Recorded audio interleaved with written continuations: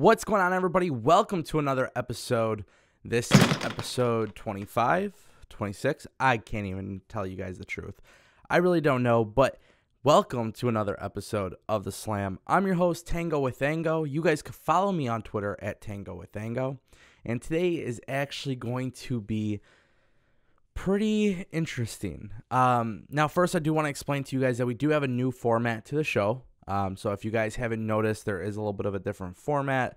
You guys will get at least a minimum of two Slam episodes a day.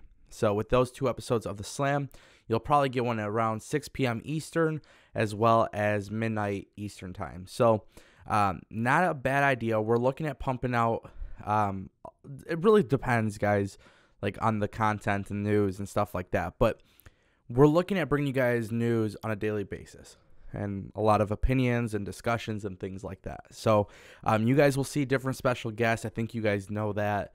Um, but right now, today's news is really, really interesting. And the reason why I'm so glad to be bringing you guys this news is because I've kind of talked about something like this before on previous episodes of the Slam. So this is kind of like a follow up video.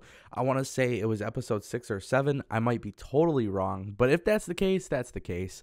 Um, so realistically, guys, wrestling is at a very pivotal point, um, especially when you look at women's wrestling.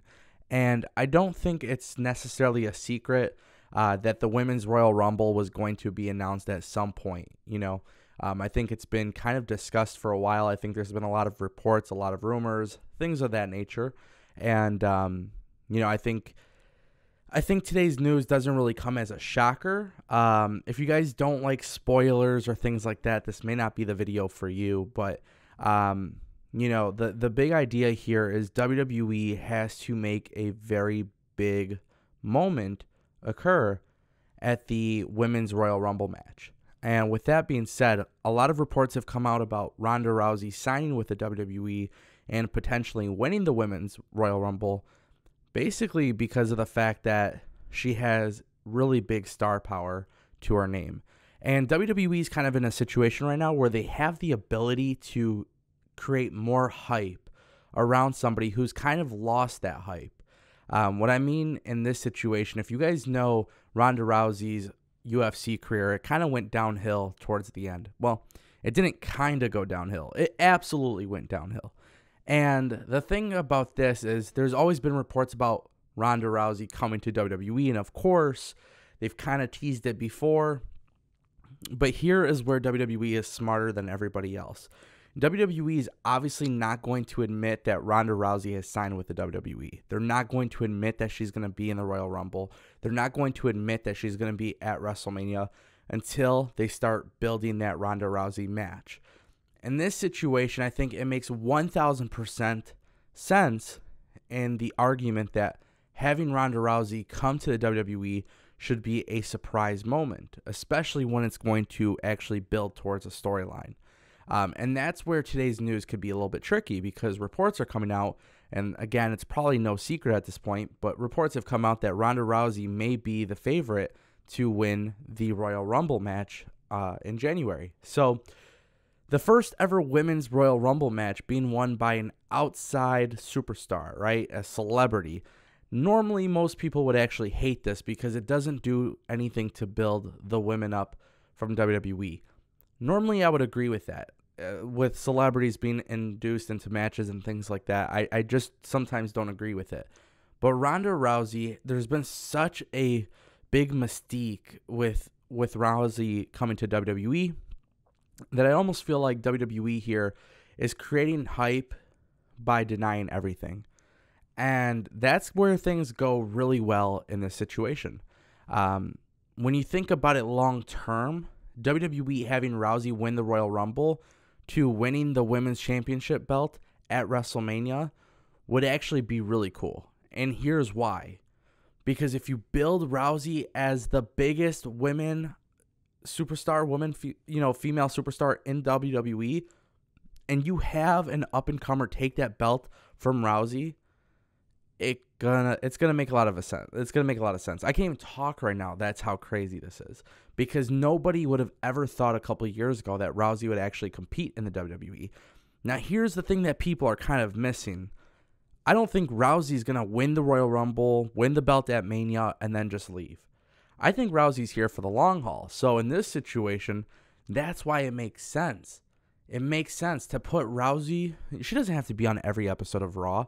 I think sometimes when you see the same person every single week, you get sick of that person. So, I do see it being a good way of building Rousey up. And I think you know, people don't want to get sick and tired of Rousey. People want to cheer her on. People want to actually see what's going to happen and develop with the story. So I feel like in this situation, most importantly, you got to protect Rousey. And the best way to do that at Royal Rumble is by having her come out at number 30. Um, I think you'll guys, I think you guys will see some celebrities uh, in attendance. I think you guys will, I think you guys will see Royal Rumble being a very star-studded event.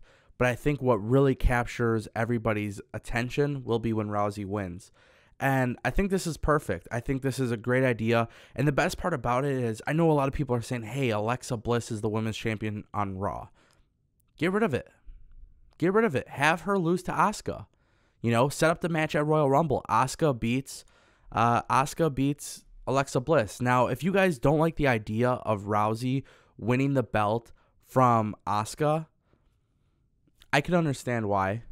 I, I really could understand why.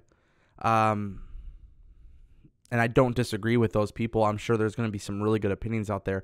But if you do have Rousey beat Asuka, the amount of hype and importance that they're building with the idea of Ronda Rousey eventually coming to WWE, I think it trumps the idea that she wouldn't be able to, you know, end a streak, if that makes sense. Um, so I'm really curious to see what's going to happen here. You know, this is this is something really different in WWE's playbook. Um, again, I'm not really into the idea of celebrities coming in or athletes from other organizations, but I think when you look at Rousey and what she could do, I think it makes sense. So with Rousey entering and, debuting debuting at the uh, Royal Rumble pay per view, seeing her being the 30th entrant, um, I think it makes a lot of sense, guys. I think WWE can really strike gold, especially when you look at this women's revolution that they keep talking about. Which, by the way, I'm just going to make note of it. The women's revolution is it's being used a lot lately because there's so many, you know, hey, this is a, a historical moment, which I understand. Um, that's obviously the importance, but I, I don't think anybody questions women's wrestling anymore. Um, even if you look at WWE, Impact, uh, ROH, Women of Wrestling, um, if you look at some of the companies in the UK, I don't think anybody can question the equality um, issue, right? Like, I don't think anybody sees a difference between both genders. So I think with WWE, they need to stop talking about women's revolution and just treat it like it's the same exact thing. And honestly, I don't know what WWE's planning for the Universal or the SmackDown WWE Championship belt. I don't know what they're planning with, you know, Undertaker, John Cena. But if there's ever going to be a time in WWE history, WrestleMania 34, Ronda Rousey versus Asuka may very well be main event main event worthy. I think at that point, um, I think it makes a lot of sense and I don't know. I don't know. I don't know who would win that match. You know, like I said, I'm okay with the idea of Rousey winning the match because of the hype, because of the importance of signing her. But then it's really hard to say, you know, Asuka's whole career with WWE goes downhill just because a UFC performer athlete uh, had come in and ended her win streak. You know, it's just one of those things. Like, I get both arguments. So, um, I want to know what you guys think in the comment section down below. With the slam, you guys could use the hashtag the slam. Tweet me on Twitter at Tango with Tango. Put a comment down below. And again, we're gonna have videos every single day. We're going to we're gonna do our best. I'm gonna try my very well uh, best to make sure you guys are getting your content on a daily basis. Um, it's like negative five degrees in Michigan, so that's why you guys will probably see me wear hoodies forever. Um, but yeah, I mean the slam is is here. It's I want to get your guys' feedback, especially on Rousey winning the Royal Rumble. Um, really, really crazy. I think it makes a lot of sense though. So Um, let me know what you guys think on this topic. Join the discussion down below in the comment section, and then again, Twitter at Tango with Tango. Use the hashtag the Slam if you guys have any questions or anything like that. You guys know where to find the show. So, uh, as always, I'm your host Tango with Tango, and I will see you guys on tomorrow's episode, 6 p.m. Eastern. Peace.